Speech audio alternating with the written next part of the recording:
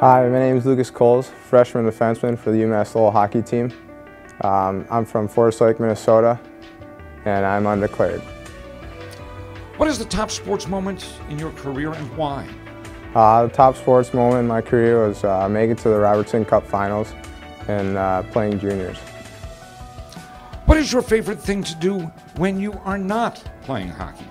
When I'm not playing hockey, I like to go golfing. If you could have one superpower, what would it be and why?